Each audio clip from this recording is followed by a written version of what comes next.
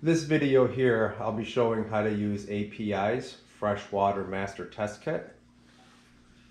When you look inside, you'll find the instructions, as well as all of your different solutions that we'll be needing to do the tests, and four of these test tubes.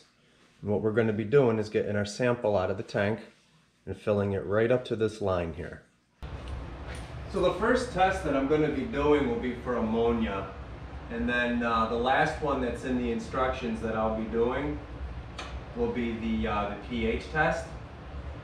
However, stick around till the end of the video because there is one other test that you can uh, do with this out of this kit here that is not in the instructions. And I'll do that last after the pH, so stick around right to the end. On the back of the instructions, there's a color chart. And we're going to be doing the ammonia and the nitrites first. So there's two different bottles of solution for ammonia.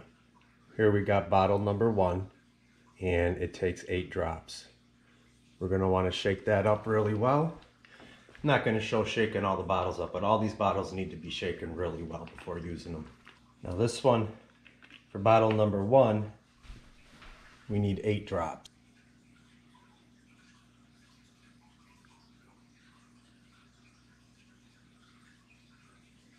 And then I'm going to shake up bottle number two, which also requires eight drops.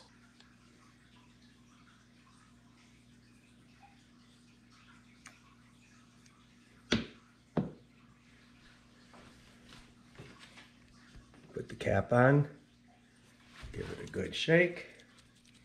Now for the ammonia, need to wait about five minutes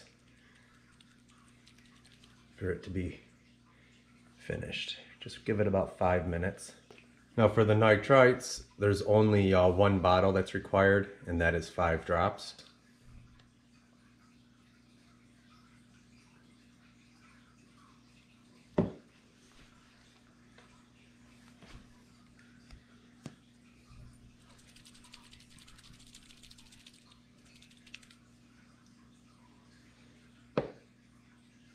So I'm gonna let that sit for five minutes now. The Top one yellow, that's what you want. So we're all good with the ammonia level.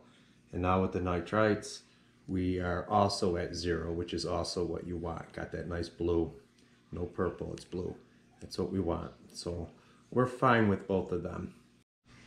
So moving on to the nitrates, there's two bottles for this as well. And I'm going to shake them both up shaking all the bottles up. So bottle number one, right here, this one requires 10 drops. So I'm gonna go ahead and put 10 drops in there first.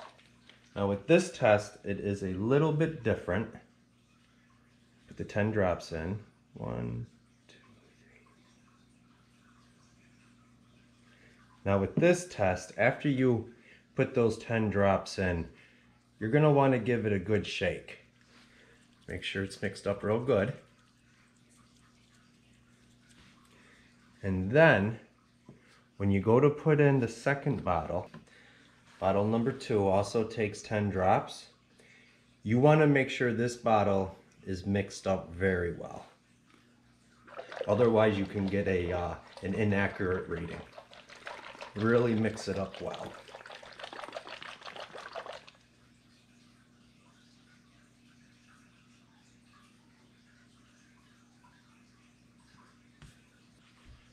I'm going to put the cap on. I'm going to mix that up really well as also. We're going to let this sit for five minutes. Now this test here for the nitrites. You can't get rid of nitrites out of your tank unless you have a planted tank. Uh, plants will consume the nitrates. But if you don't have a planted tank, then you're going to want to do a water change. If you're at 40 parts per million or above, which is the uh, the red the red mark down here where I got the X, you're gonna want to do an immediate water change, maybe 25, 30%, and then the next day you'll uh, you'll want to test for it again and make sure that those numbers have come down. Uh, like I said, a, a, little bit is good for a planted tank. I actually like mine to be at about 20 parts per million. Right here above it in the orange. That's where I would like it to be. Okay, so it's been five minutes now.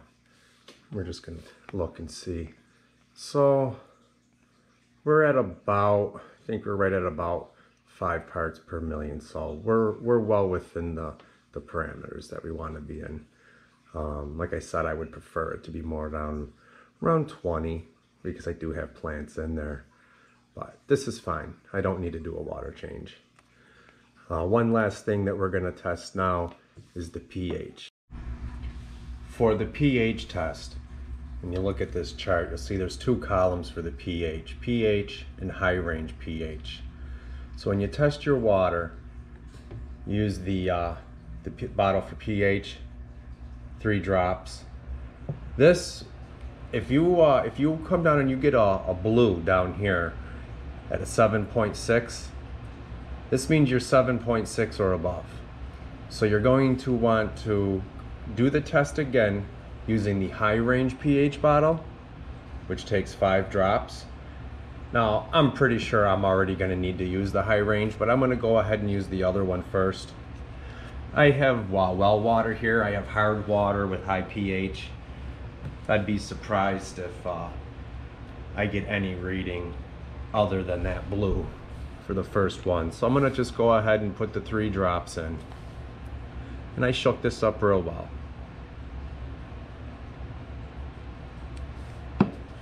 So like I like I figured, it's reading a 7.6 or above. So I am going to go ahead and do the high range test, which will take uh, five drops. So it's looking like I'm close to a 7.8 for my pH, which is fine. I'm going to be making uh, the tank where I took these samples from. Eventually it's going to be a uh, a cichlid tank, which will be fine for those guys. One last test that's not in the instructions that I'll do.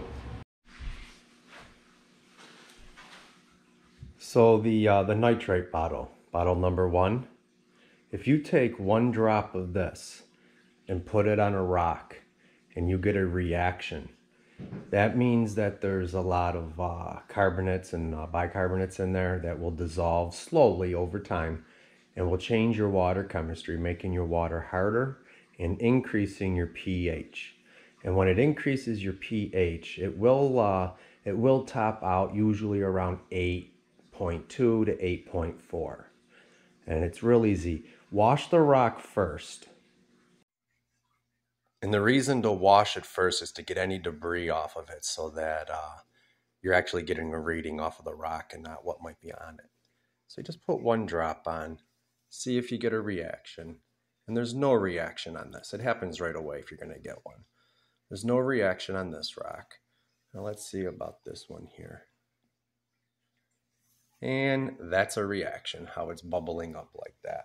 So that's going to increase your, uh, your water hardness and your pH. And one more thing I do want to mention is these, uh, these test tubes here. After you clean them out, let them dry and sit but don't, after you wash them out, don't put these on until you're going to use it again. Uh, a lot of times they will stick right on there, and when you try to get them off, they'll break.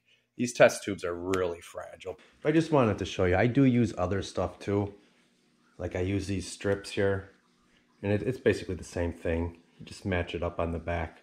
They're not as accurate, but I'll use these because it's quick, it's easy. Uh, and what I'll do sometimes is I'll actually cut this in half. And that way I can I get uh, two tests out of one strip. Uh, test the pH, these little indicator papers. You just take one of these, you get it wet, just like you would with the with the uh, the strips there, and then you match it up. I don't use a whole strip. You can see this one I cut in half. You know, I'll cut it in half and I'll test these things aren't as accurate as the uh, master test kit if you do it correctly. Um, but I use it a lot, and if I see there's a, some kind of a situation or maybe there's a problem, then I'll go ahead and definitely do my uh, the test with the master test kit.